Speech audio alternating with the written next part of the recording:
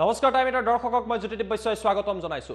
দেশৰ গৃহমন্ত্ৰী অমিত শ্বাহ বৰ্তমান সময়ত গুৱাহাটীতে আছে আৰু আমিন গাঁৱত আজি অমিত শ্বাহে বিশাল জনসভা সম্বোধন কৰিছিল। কিন্তু ইয়াৰ মাজতে অমিত শ্বাহৰ লগতে ৰাজ্যৰ মুখ্যমন্ত্ৰী আৰু স্বাস্থ্যমন্ত্ৰীৰ বিৰুদ্ধে সৰব হৈ পৰিছে এগৰাকী যুৱক। তেওঁৰ অভিযোগ যে যিসকলে আইন প্ৰণয়ন কৰিছে তেওঁলোকে আজি কভিড প্ৰটকল ভংগ কৰিছে। এই মুহূৰ্তত আমি আপোনালোকক জনাইছো এটা ডাঙৰ খবৰ। অমিত শ্বাহৰ বিৰুদ্ধে কভিড প্ৰটকল ভংগৰ অভিযোগ উত্থাপিত কৰিছে এগৰাকী যুৱকে। আমিন গাঁৱত আজি যি সভা হৈছিলে এই সভাতে কভিড প্ৰটকল ভঙাৰ অভিযোগ উত্থাপন কৰি পল্টন বাজাৰ থানাত গোচৰ দিবলৈ গৈছিল এগৰাকী যুৱক। এজাহাৰ দিবলৈ গৈছিলে পল্টন বজাৰ থানালৈ অমিত শ্বাহ। সৰ্বানন্দ সোণোৱাল হিমন্ত বিশ্ব শৰ্মাকে ধৰি কেইবাগৰাকীও মন্ত্ৰী আৰু নেতাৰ বিৰুদ্ধে এজাহাৰ দিবলৈ গৈছিলে এগৰাকী যুৱক। যুৱকগৰাকীৰ নাম মৃদুপৱন মহন্ত বুলি জানিব পৰা গৈছে। কিন্তু পল্টন বজাৰ আৰক্ষীয়ে যুৱকগৰাকীৰ এজাহাৰ লবলৈ অস্বীকাৰ কৰাৰ কথা তেওঁ আজি টাইম এইটৰ আগত উল্লেখ কৰিছে। আমি মাত্ৰ কেইটামান মুহূৰ্তৰ পিছতে আপোনালোকক তেওঁৰ মন্তব্য শুনোৱাম। যুৱকগৰাকীয়ে আজি যথেষ্ট প্ৰশ্ন কৰিছে আৰু ইয়াৰ পাছতে তেওঁ সোমবাৰে আদালতত গোচৰ ৰুজু কৰিব বুলি উল্লেখ কৰিছে। আদালতত গৈ গোচৰ দিব যুৱকগৰাকীয়ে যিহেতু আৰক্ষীয়ে এই মুহূৰ্তত গোচৰ লোৱা নাই। আমিন গাঁৱত আজি অমিত শ্বাহৰ সভাত হাজাৰ হাজাৰ লোক সমবেত হৈছিলে আৰু তাতেই কভিড প্ৰটকল ভংগ হোৱাৰ অভিযোগ উত্থাপিত কৰিছে যুৱকগৰাকী। আমি আপোনালোকক দৃশ্যাংক দেখুৱাইছো আজি এই দৃশ্য দেখিবলৈ পোৱা গৈছিলে। যথেষ্ট সংখ্যক লোক সমবেত হৈছিলে। মাত্ৰ দুটা দিন পূৰ্বে ৰাজ্যৰ মুখ্য সচিব জিষ্ণু বৰুৱাই কভিড যিসমূহ নীতি নিয়ম আছে নীতি নিৰ্দেশনা আছে তাত সাল সলনি কৰি কেইবাটাও নতুন নিয়ম প্ৰৱৰ্তন কৰিছিলে য'ত সামাজিক দূৰত্বৰ কথা কোৱা হৈছিলে ৰাজহুৱা স্থানত সভা অনুষ্ঠিত কৰাৰ ক্ষেত্ৰত সংখ্যা দিয়াৰ কথা কোৱা হৈছিলে। কিন্তু এই সকলোবিলাক নীতি নিয়ম ভংগ কৰাৰ অভিযোগ উত্থাপিত কৰিছে এইগৰাকী যুৱকে আৰু যুৱকগৰাকীয়ে প্ৰশ্ন কৰিছে যিসকলে আইন প্ৰণয়ন কৰে তেওঁলোকে কিয় এনেকুৱা আইন ভংগ কৰিছে? আৰু তাৰ লগতে তেওঁৰ প্ৰশ্ন যে আইন সকলোৰে বাবে সমান নহয় নেকি? আৰক্ষীয়ে তেওঁ দিয়া তেওঁ যি গোচৰ ৰুজু কৰিবলৈ গৈছিলে সেই গোচৰ আৰক্ষীয়ে নোলোৱাত তেওঁ ক্ষোভ প্ৰকাশ কৰিছে। এই মুহূৰ্তত সেই যুৱকগৰাকীৰ এক্সক্লুচিভ মন্তব্য আমাৰ লগত আহি পৰিছে। মন্তব্য আপোনালোকক দেখুৱাই লৈছো। কথাষাৰ হ'ল এয়া যে চাওক যোৱা চৌবিছ তাৰিখে পৰহি। জিষ্ণু বৰুৱা ডাঙৰীয়াই তেখেতে এটা অৰ্ডাৰ চাৰ্কুলেট কৰিছিলে যে দহ জানুৱাৰীলৈকে পঞ্চাছজনতকৈ অধিক কোনো ক'তো গেডাৰিং কৰিব নোৱাৰিব। আৰু আমি সকলোৱে সেইটো আশ্বাস হিচাপে গ্ৰহণ কৰিছোঁ যে ক'ভিড ক'ভিডৰ কাৰণে ৰাজ্য চৰকাৰে ভাবিছে ভাল কথা। কিন্তু আজি যোনে প্ৰট'কল তেওঁলোকে এই নিয়ম অনুসৰি আনি দিছে তেওঁলোকে আজি যে প্ৰট'কল ভংগ কৰিছে এই কেনেকৈ পালে? আৰু এটা ডাঙৰ কথা হ'ল মই ইয়াত জানিব ক'ব বিচাৰোঁ চাওক। এইখন হৈ গ'ল আজি মই মোৰ নাম মৃদুপৱন মহন্ত। মই পল্টন বজাৰ থানাত গৈছিলোঁ কাৰণ মই যোনডোখৰত থাকোঁ তেওঁলোকৰ জুডিকশ্যন পৰে। মই তেওঁলোকৰ তাত গৈছিলোঁ তেওঁলোকৰ তাত গৈ পেলাই মই কৈছোঁ যে এই এফ আই আৰখন গ্ৰহণ কৰক। তেওঁলোকে ভুলতো নলওঁ বুলি কৈ থৈ দিছে। মোক কৈছে লাগিলে তুমি কৰিয়াৰ কৰি পঠোৱা কিন্তু মই কেছ ল'ব নোৱাৰোঁ। তাৰপিছত তেওঁলোকৰ ছিনিয়ৰ অফিচাৰৰ ওচৰতো মই এপ্ৰ'চ কৰিব বিচাৰিলোঁ। তেওঁলোকে এপ্ৰ'চ নকৰে। তেওঁলোকে মোক লগ নধৰে। মই এতিয়া এটা কথা মই আপোনালোকক ক'ব বিচাৰোঁ যে চাওক মানিছোঁ তেওঁলোক শাসিত দল। কিন্তু সেই বুলি সৰ্বসাধাৰণ লোকৰ বাবে তেওঁলোকে প্ৰট'কল বনাই দিব ল বনাই দিব যোনটো লত মানুহে বাহিৰলৈ ওলালেই মাৰ খাব পিটন খাব তেওঁলোকে কিবা এটা হ'লে ফাইন ভৰিব লাগিব। কিন্তু তেনেস্থলত য'ত পঞ্চাছজন অকল গেডাৰিং হ'ব পাৰে তাতছে ওপৰ হ'ব নোৱাৰে।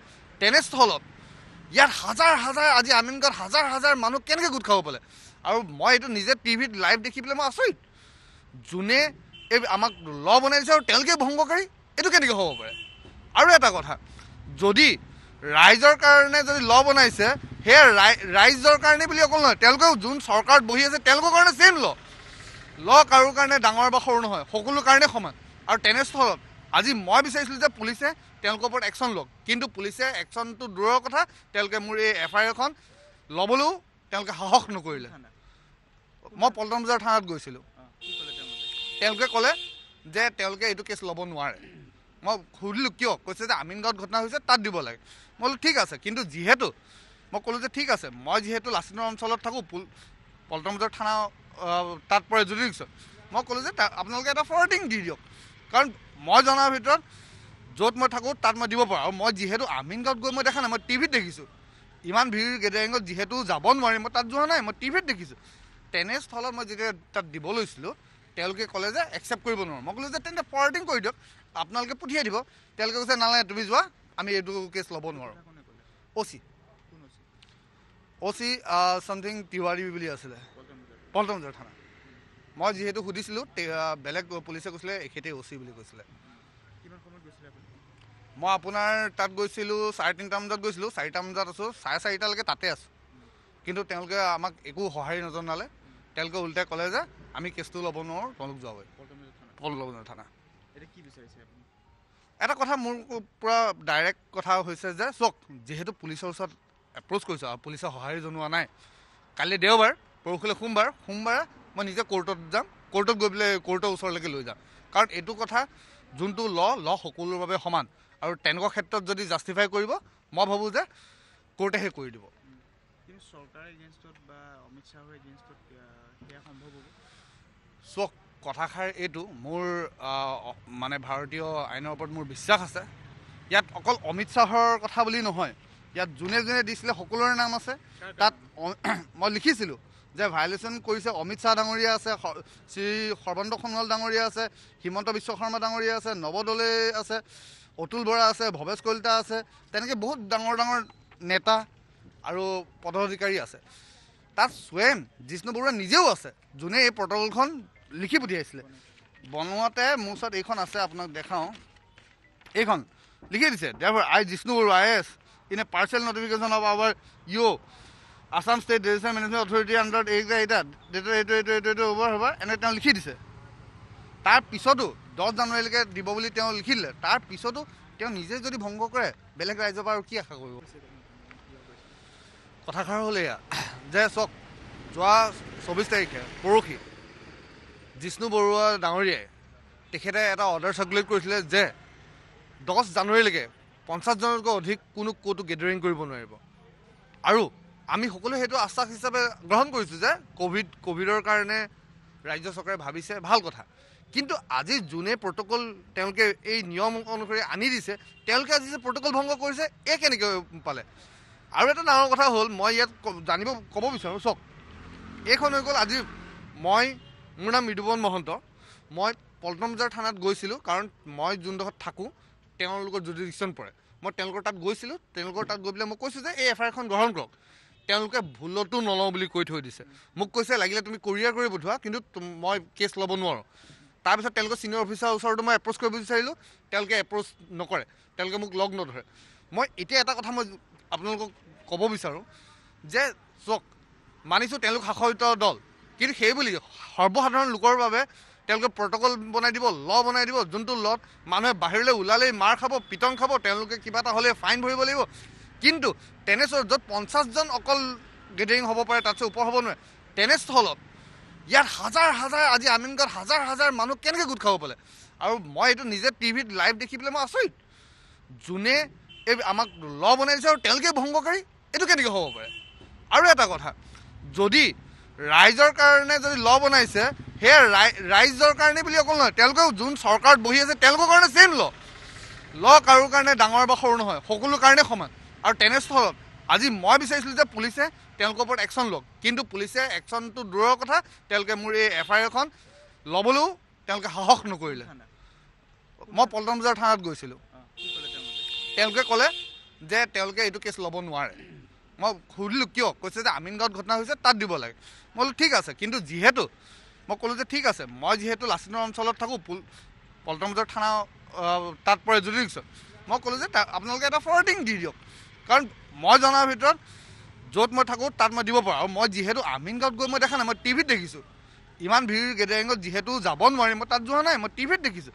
তেনেস্থলত মই যেতিয়া তাত দিব লৈছিলোঁ তেওঁলোকে ক'লে যে একচেপ্ট কৰিব নোৱাৰোঁ। মই ক'লোঁ যে তেন্তে ফৰৱাৰ্ডিং কৰি দিয়ক। আপোনালোকে পঠিয়াই দিব। তেওঁলোকে কৈছে নালাগে তুমি যোৱা। আমি এইটো কেছ ল'ব নোৱাৰোঁ।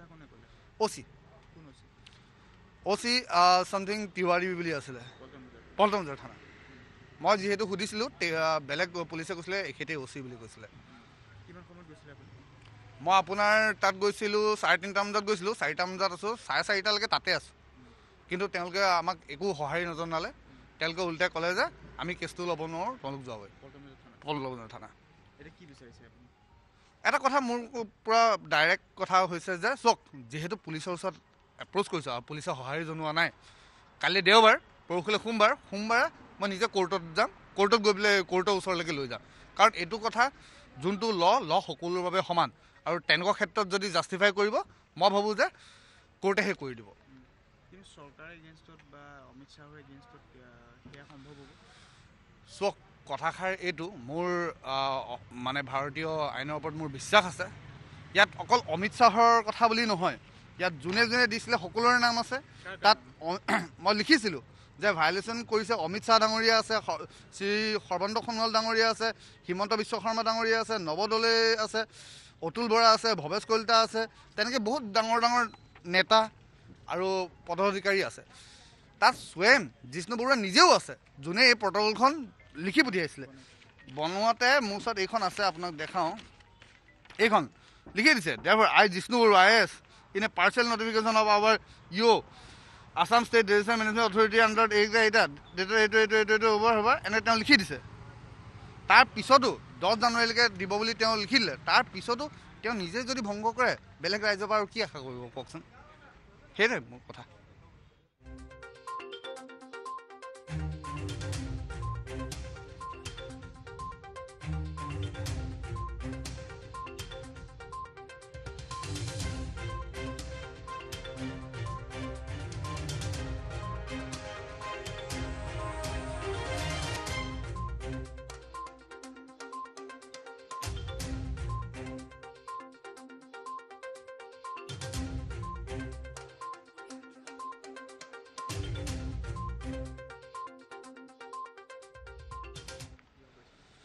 কথাষাৰ হ'ল এয়া।